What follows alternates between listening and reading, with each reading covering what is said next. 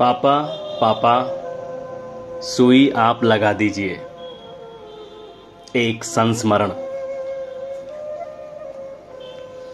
दर्द के बिना ज़िंदगी का कोई अस्तित्व तो नहीं है। दर्द के बिना ज़िंदगी होती भी नहीं है।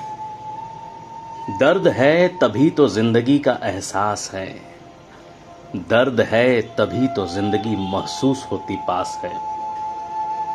अब दर्द किसका है, कैसा है और किसने दिया है, यह सब अलग अलग लोगों की ज़िंदगी में अलग अलग तरीके से प्रकट होता है। मेरी ज़िंदगी का दर्द मुझे मेरी बीमारियों से मिला था।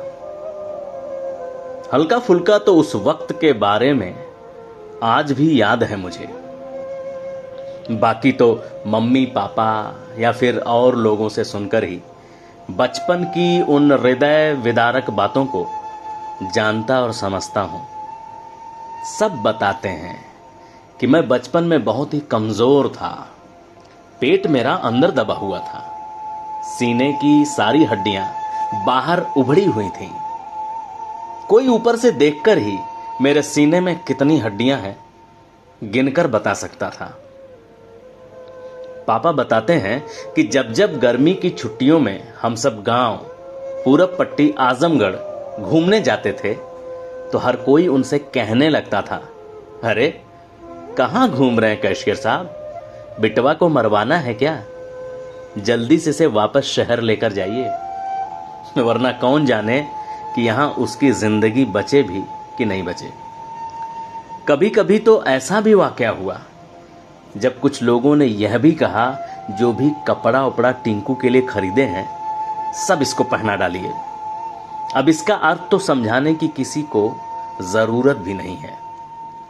मगर इतना तो है ही कि इससे ज़्यादा कोई दर्द देने वाली बात, और वह भी एक माँ बाप के लिए, इस दुनिया में कोई और नहीं हो सकती है, कि ये दुनिया के लोग उन्हें यह एहसास दिलाने लगे कि उनका बच्चा अब ज़्यादा दिन का मेहमान नहीं है। मेरे वर्तमान को देखकर मेरे बीते हुए कल का अंदाज़ा लगाना बहुत ही मुश्किल है। अब तो कभी कभी अगर ब्लड चेक करवाने की नौबत भी आती है तो पैथोलॉजिस्ट को मेरी नस ढूँढने में ही मुसीबत आ जाती है। बहुत बार किसी को देखकर उसके भविष्य का अनुमान लग जाता है, लेकिन किसी का वर्तमान देखकर उसका बीता हुआ कल कैसा था यह अक्सर पता लगाना मुश्किल हो जाता है। अच्छा था कि मेरे जैसे बीमार बच्चे की काया का निवास स्थान भले ही एक किराए के घर में था, मगर वो घर किसी डॉक्टर का था। हर फजीहत करने वाली चीज़ कभी कभी फुर्सत के क्षण भी ज़िंदगी में देती ही है। सो डॉक्टर का होना तो मेरे लिए, मेरे स्वास्थ्य के लिए अच्छा ही था। आदमी को ठीक करने के लिए डॉक्टर दवाई देता है और जल्दी ठीक करने के लिए सुई। इंजेक्शन को हम लोग गाँव में सुई कहते हैं। किसी बच्चे को आज भी जब डराना होता है तो हम कहते हैं कि ठीक से रहो, वरना डॉक्टर के पास ले जाकर सुई लगवा देंगे। और सुई का नाम सुनकर कोई भी बच्चा हो, तुरंत लाइन पर आ जाता है।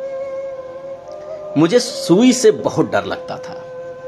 शायद सारे बच्चों को लगता है, मगर मुझे सुई से आज भी बहुत डर लगता है। कोशिश यही करता हूँ हमेशा कि कुछ भी हो, सुई भर बस न लगे। सुई से ज़्यादा डर लगने का कारण भी शायद यही रहा कि बचपन में ज़्यादा बीमार रहता था और जिसके कारण मुझे सुइयाँ ज़्यादा लगाई जाती थी। डॉक्टर भी बहुत बड़े वाले डॉक्टर नहीं थे। और छोटे डॉक्टरों का भरोसा दवाइयों से ज़्यादा सुइयों पर होता है। एक वक्त ऐसा भी था जब मेरा हिप सुइयों के छेद से पट गया था। वो दृश्य आज भी मेरी आँखों के सामने घूमता है। जब मैं उस दिन सुबह सुबह अपने कमरे के बाहर पापा पापा बोलकर चिल्ला रहा था। दिन का उजाला हो चुका था। कोई सात, साढ़े सात बजे होंगे। डॉक्टर एक शीशी में भरी दवाई को इंजेक्शन में खींच रहा था, जिसे देखकर मेरा दर्द सुई लगने के पहले ही बढ़ा जा रहा था। वो फिर अपनी दोनों उंगलियों के सहारे झटके दे देकर दवा को इंजेक्शन के अंदर सेटल कर रहा था और मेरा दिल उसे देख देख कर विफल हो रहा था। जब उसने हवा में हाथों को ऊपर करके इंजेक्शन को नीचे से थोड़ा सा प्रेस किया और सुई की नोक से दवाई की कुछ बूंदे बाहर आईं। तब मेरी आँखों से आँसू की बूंदे झरझरा कर बहने लगी। मानो कि कोई बाँध आज अचानक टूट गया हो। अब जब डॉक्टर मुझे सुई लगाने के लिए रेडी हो गया था तो मैं चिल्लाते हुए पापा की कमीज पकड़कर बार बार उनके पीछे छुप जाने की असफल कोशिश में लगा हुआ था। और जब वो डॉक्टर मेरी तरफ़ आगे बढ़कर आने लगा तो चिल्लाते हुए मैं बस एक ही बात कहे जा रहा था, पापा पापा, सुई आप लगा दीजिए, सुई आप लगा दीजिए। शायद पापा अगर इंजेक्शन लगाते तो मेरा दर्द थोड़ा कम हो जाता।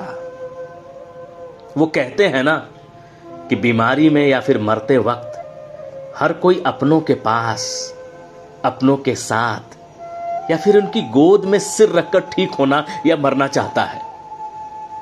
अपनों के साथ दर्द जो थोड़ा कम हो जाता है। उसी दर्द की तलाश जब जब मैंने ज़िंदगी में की, हर जगह जो याद आए, वो मेरे पापा थे। वो मेरे पापा थे।